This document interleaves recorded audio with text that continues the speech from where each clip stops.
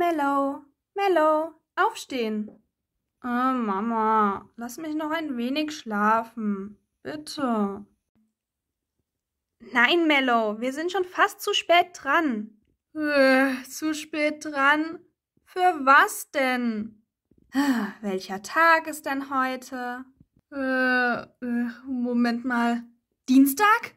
Ja, und das bedeutet. Fohlenspielgruppe! Sag das doch gleich! Auf geht's! Ich bin bereit! Na dann komm, gehen wir! Mann, können wir jetzt endlich anfangen? Ja, langsam langweilt es mich hier nur rumzustehen. Na, na, na, Fohlen, ihr müsst euch schon noch in Geduld üben. Ihr wisst, wir fangen erst an, wenn alle da sind. Und Mellow fehlt eben noch. Dann soll die sich mal beeilen. Ja, für heute haben wir so coole Spiele geplant. So, viel Spaß, Schätzchen. Danke, Mama. Bis später. Hey, Freunde, ich bin da. Na, das wurde aber auch mal Zeit, Mellow. Leg deine Tasche bitte nach da hinten. Oh, ähm, fast vergessen. Siu Tasche, bis später. Also dann, eins, zwei, drei, vier, fünf. Okay, komplett.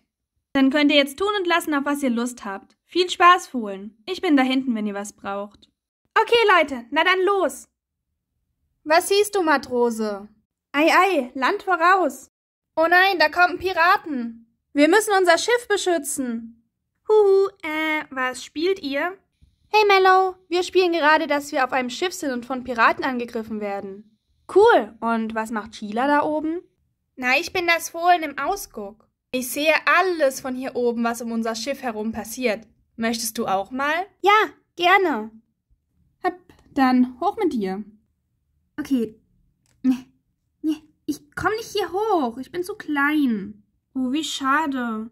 Naja, äh, du kannst ja immer noch Teil der Besatzung sein. Wir brauchen noch jemand für die Küche. Für die Küche? Ernsthaft? Ja, du kannst unser Schiffskoch sein. Und jetzt ab in die Küche und koch uns was. Ei, ei, Captain. Äh, Sheila, ich bin immer noch der Captain und ich gebe die Befehle. Oh, stimmt ja. Also, Mello, ab in die Küche und koch uns was Leckeres. Schiffskoch. Ah, ei, ei, Captain. Okay, Leute, ich habe jetzt irgendwie keine Lust mehr, Schiff zu spielen. Wollen wir nicht lieber etwas anderes machen? Ja, gute Idee. Na dann schlagt mal was vor. Wie wär's mit Hindernislauf? Oh ja, das klingt spaßig. Also Leute, damit der Parcours als bestanden gilt, müssen alle Hindernisse überwunden werden. Und zwar fehlerfrei. Das müssten wir alles schaffen, oder? Na, Logo. Klar. Äh, ja, ich denke schon. Wobei das letzte Hindernis für mich ein bisschen knifflig werden könnte. Ach, stell dich nicht so an. Das schaffst du, Mellow. Na, wenn du meinst. Schau, ich gehe als Erste durch. Dann zeige ich dir, dass das wirklich total einfach ist. Also dieser kleine Sprung dürfte für dich kein Problem sein. Hier muss man schon ein bisschen höher springen. Siehst du, war ganz einfach. Und diese beiden hier sind auch richtig einfach. Und jetzt mit ganz viel Anlauf. Wow, bravo, Betty. Du bist ja ein richtiges Springfohlen. Hehe, danke, ich weiß. Habe ich alles von meiner Mutter gelernt. Und du denkst, ich schaffe das auch? Wirklich? Ja, und jetzt komm, du bist die Nächste. Gut, also das hier ist kein Problem. Wow, das ist höher als gedacht. Mello, komm schon, spring. Okay, ich probier's. Yay, geschafft! Ja, also das ist einfach. Und das hier auch. Und jetzt mit viel Anlauf, hat Betty gesagt. Au! Mello? Mello, geht's dir gut? Aua, ja. Ich hab die Höhe des Sprungs unterschätzt. Ich dachte, ich schaffe das, aber ich hab's nicht geschafft. Oh Mann, ich glaube, der Parcours für fortgeschrittene Fohlen passt wirklich nicht zu dir. Ja, ich glaube eher, dass du den Babykurs machen solltest. Ist hierfür, glaube ich, noch etwas zu klein. Ey, Mach dir nichts draus, Mellow. Wollen wir uns nicht lieber etwas stärken? Oh ja, ich hab schon richtig Hunger. Aber danach machen wir mit unserem Hindernislauf weiter, okay? Na klar, Point. Eure Lunchboxen sind gerichtet. Ihr wisst ja, wo ihr sie findet. Ja, nämlich direkt hier oben.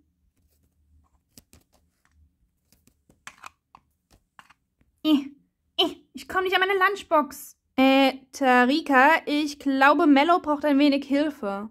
Oh Mist, ganz vergessen, die Lunchbox für sie runterzustellen. Ey, eigentlich krass. Mello ist so mini, die kommt noch nicht mal zu ihrer Lunchbox hoch. Ja, irgendwie ein bisschen traurig. Tja, wir sind halt wirklich viel größer als sie. Hätte sie halt mehr Äpfel essen sollen. Meine Mutter hat immer gesagt, davon wird man groß und stark. So, hier, bitteschön, Mello. Vielen Dank, Tarika. Oh, ich bin gespannt, was ich diesmal Leckeres in meiner Lunchbox habe. Ich auch. Ich hoffe, es ist ein leckeres Käsebrot. Und als Nachtisch vielleicht ein Karottenpudding. Hey Leute, äh, habt ihr noch Platz für mich? Äh, nichts für ungut, Mello, aber der Tisch ist eventuell ein wenig zu hoch für dich. Geh doch lieber an den niedrigen Tisch da hinten. Äh, ganz alleine? Na, ich werde mich sicherlich nicht dazu stellen. Danach tut mir doch alles weh, wenn ich mich immer so runterbeugen muss. Oh, okay. Mann, Mann, das ist so ungerecht. Wieso bin ich nicht auch so groß wie all die anderen? Das ist richtig gemein. Die schließen mich total aus. Hu, Mello, ganz alleine hier?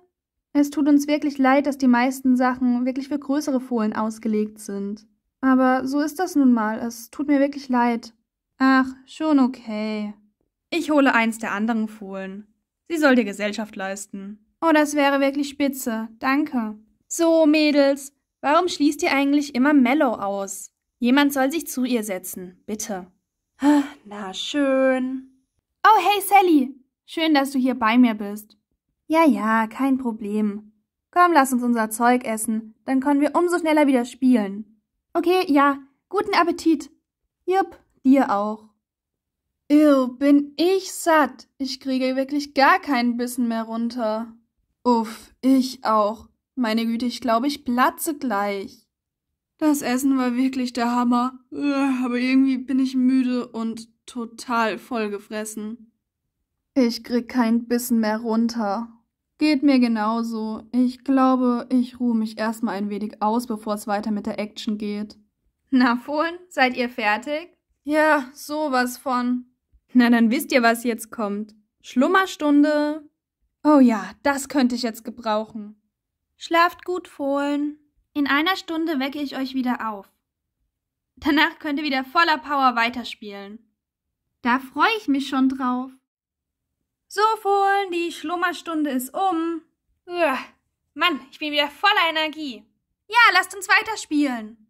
Machen wir mit dem Hindernislauf weiter? Auf jeden Fall. Äh, Leute, warum seid ihr auf einmal so mini? Äh, Gegenfrage, Mello. Warum bist du auf einmal so groß? Boah, ey, bist du riesig. Was, was hast du gemacht? Naja, ist doch egal. Lasst uns weiterspielen. Hindernislauf. Du bist nochmal dran, Mello. Okay. Oh, upsala. Ähm, ja, wir können ja vielleicht auch wieder Schiff und Piraten spielen, oder? Klar, okay. Matrose, was siehst du? Captain, ich sehe ein Seeungeheuer auf zwölf Uhr. Schnell, wir müssen einen Angriff starten. Äh, und was soll ich jetzt machen? Naja, äh, du sollst uns angreifen. Na schön. Oh mein Gott, das Seeungeheuer kommt näher. Äh, aua! Das war ein starker Angriff, doch mehr hast du nicht drauf, Seeungeheuer? Komm schon, los, kämpf gegen mich. Aua, Mello, du musst es ja nicht übertreiben. Äh, ja, äh, wir geben auf. Hier ist die weiße Flagge, Leute. Fohlen, Fohlen, was macht ihr denn da? Das ist viel zu gefährlich. Mello. Was denn? Du sollst dich deine Mitfohlen verletzen. Das, das war ja auch nicht meine Absicht. Ich habe irgendwie nicht gemerkt, wo ich hindrehte. Sie haben gesagt, ich soll angreifen und naja, das habe ich halt getan. Ah, spielt bitte was weniger Gefährliches, ja? Na schön. Wie wär's mit Fangen, Leute? Ja, gute Idee. Äh, ich verstehe euch hier oben nicht. Könnt ihr vielleicht ein bisschen lauter reden? Oh, das tut uns wirklich leid, Mellow, aber ganz ehrlich, du spielst nicht mit. Äh, warum denn? Naja, wir haben vor, Fangen zu spielen und wir haben Angst, dass du uns währenddessen irgendwie tottrampelst oder so. Wieso, wieso sollte ich das denn? Hast du dich mal angeguckt? Du bist in echt ein Monster, nicht nur im Spiel. Aber, aber das ist unfair. Ich will nicht mehr so groß sein. Ja, oh mein Gott. Das, das war alles nur ein Albtraum. Ich, ich bin normal groß. Ja, endlich. Ich habe meine normale Größe wieder zurück. Was schreist du hier denn so rum? Andere wollen vielleicht noch schlafen.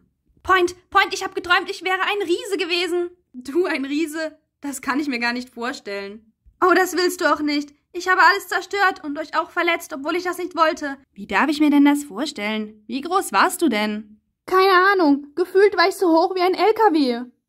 So hoch wie ein LKW? Wow, das ist schon hoch. Äh, jetzt, wo wir schon wieder alle wach sind, wollen wir weiterspielen? Na klar, aber ich, ich habe nachgedacht und bevor wir anfangen weiterzuspielen, würde ich mich gerne im Namen von uns allen bei dir entschuldigen, Mellow. Hä? Wieso denn das? Naja, wir haben dich die ganze Zeit aufgrund deiner Größe irgendwie ausgeschlossen und, naja, anders behandelt. Wir haben uns irgendwie auch über dich lustig gemacht. Das tut uns wirklich leid. Du kannst nichts dafür, dass du kleiner bist als wir. Und du bist natürlich auch ein bisschen jünger und so. Und naja, es ist doch völlig normal, dass nicht jeder gleich groß sein kann. Wir hätten uns nicht über dich lustig machen dürfen und uns auch nicht, naja, wie was Besseres fühlen dürfen, nur weil wir ein wenig größer sind als du. Ja, das stimmt. Es tut uns wirklich total leid. Es war falsch von uns. Wir haben irgendwie gar nicht gemerkt, dich ausgegrenzt zu haben. Aber jetzt, wo ich so darüber nachdenke, haben wir das wirklich getan. Ja, okay. Entschuldige, Mellow. Ja, tut uns wirklich leid. Und hey, wir versprechen dir, auch wenn du an die Lunchboxen so nicht rankommen solltest, wir, wir helfen dir, okay? Ja, und es werden sich auch immer zwei von uns an deinen Tisch setzen. Nein, wir setzen uns das nächste Mal alle gemeinsam an den kleinen Tisch von Mellow. Aber habt ihr denn da überhaupt alle Platz? Ist doch egal, wir wollen dir Gesellschaft leisten. Ja, wir bekommen das schon irgendwie hin. Oder wir basteln dir eine kleine Aufstiegshilfe, dann kannst du an unserem Tisch mitessen. Na, das wäre natürlich auch eine tolle Idee. So, dann lasst uns weiterspielen, aber irgendwie habe ich auf Hindernislauf gar keine Lust mehr. Hat jemand anders einen Vorschlag? Ja, ich hätte einen. Verstecken. Haben wir schon ewig nicht mehr gespielt. Aber gerne, ich bin dabei. Ich auch. Ich auch. Und ich zähle, okay? Okay, aber nicht schummeln. Eins, zwei, drei. Sie zählt bis hundert. Los, Leute, versteckt euch. Ich liebe Verstecken und ich bin darin auch total gut. Ich finde immer die besten Verstecke, besser als alle anderen, weil ich, naja, ein bisschen kleiner bin und überall drunter passe. Es hat vielleicht auch seine Vorteile, kleiner zu sein.